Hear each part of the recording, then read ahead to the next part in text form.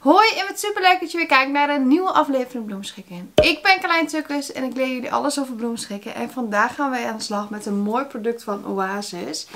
En we gaan hem natuurlijk opmaken met mooie takken. Daar werd veel om gevraagd en uh, dat gaan we vandaag doen. Dus heb je er zin in, doe alvast een duimpje omhoog. Het abonneren op dit kanaal is helemaal gratis en blijf je op de hoogte van alle leuke video's die ik maak. En wil je het pakket van vandaag bestellen? Hieronder in de beschrijving vind je een linkje waar je het complete pakket kan bestellen. Of ga naar www.uonlinebloemist.nl, daar vind je het onder op je cursuspakketten. Goed, we gaan gauw aan de slag.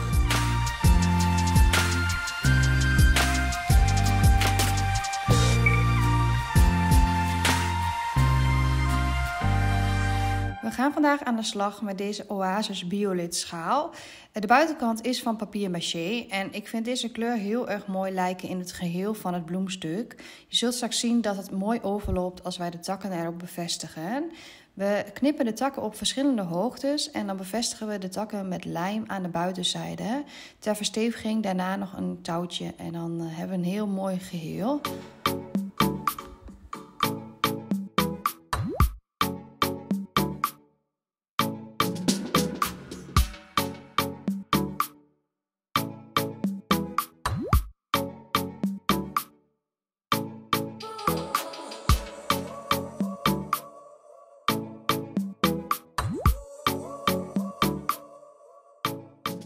Dan is het tijd om deze te bevestigen. Dat doe ik met een lijm. Gebruik hiervoor een goede lijmtang. Ik gebruik altijd um, deze. Echt een hele fijne, want die is precies goed qua warmte. Blijft goed zitten. Goede lijmpatronen. Mochten jullie ook willen dat ik deze toevoeg aan de webshop, laat me dat dan eventjes weten. Um, in, die bevestig ik aan de zijkant. En het mooie is de kleur van deze ondergrond. Uh, waardoor dat mooi past en je het niet zo snel ziet dat daar takken zitten. Als je een hele witte ondergrond bijvoorbeeld hebt, dan zul je dat heel snel doorheen zien. Um, bij dit is het wat natuurlijker, dus dat is echt een voordeel.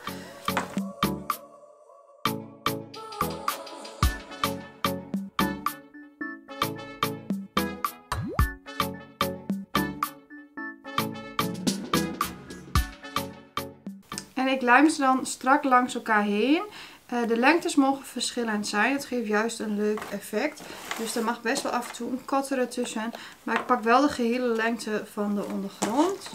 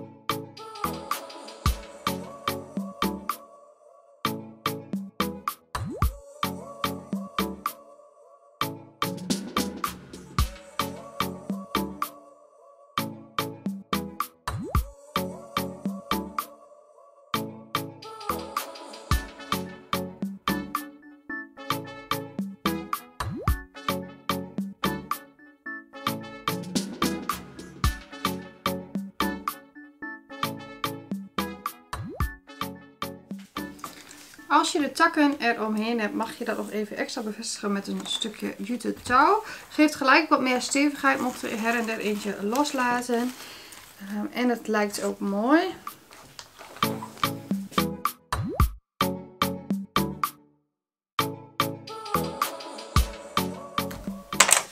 Dan mag je nog even de lijmresten controleren of die er nog op zitten. Die kan je er dan afhalen.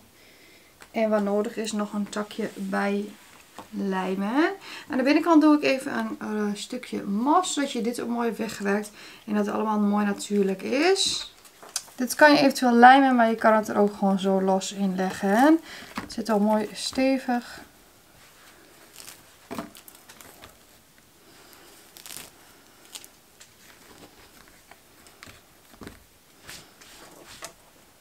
Mocht je nog iets aan willen passen aan de lengte van de takken, dan kan dat. Maar ik vind het wel leuk zo.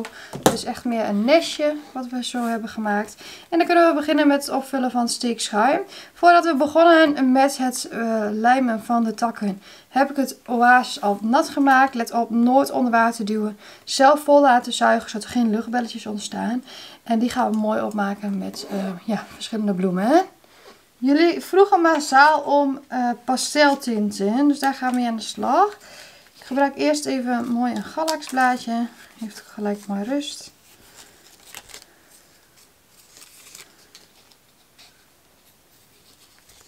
Dan heb ik een klein stukje bolmos.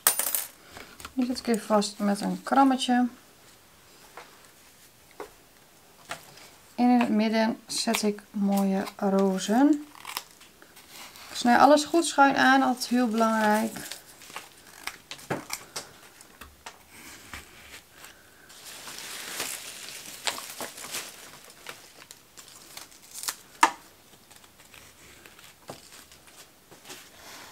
Super mooi die pasteltinten. En ik vind bij die pasteltinten eucalyptus altijd heel mooi sierlijk. Ik gebruik trouwens het stieltje helemaal. Knip net boven de blaadjes af.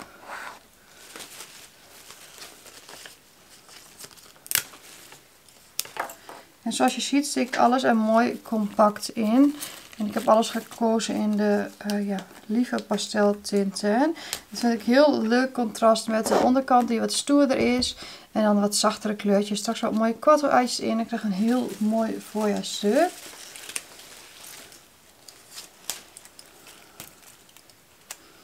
Mooie lisiantes. Verstommen. En er mag best een klein beetje hoogteverschil in zitten. Wat je daarin zelf mooi vindt. Dan doe ik aan deze kant ook nog een stukje bolmos. Is je bolmos te groot, kan je het gewoon in delen breken. En je kan het vastzetten met een krammetje. Het hoeft op zich niet.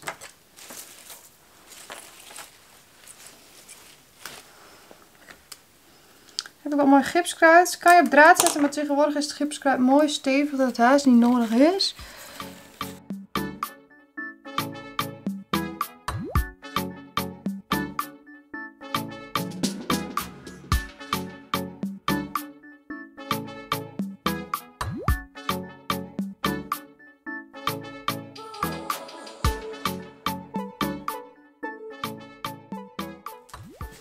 Dan heb ik nog een mooie duizenschoon. Deze heeft toevallig wat zijtakjes, dus die verdeel ik. Anders kan je hem ook in één keer gebruiken.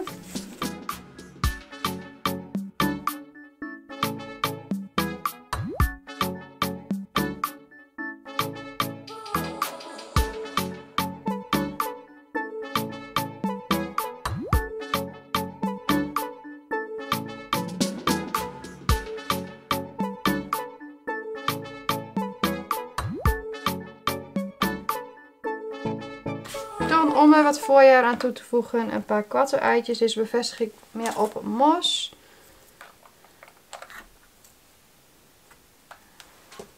En natuurlijk mag een bolletje ook niet ontbreken in een voorjaarstuk. Ik gebruik hiervoor uh, druifjes en ik zet het op een satéprikker. Ik haal het potgrond er even af. En dan kan je hem zo bevestigen in het stuk. En dan heb je echt voorjaar.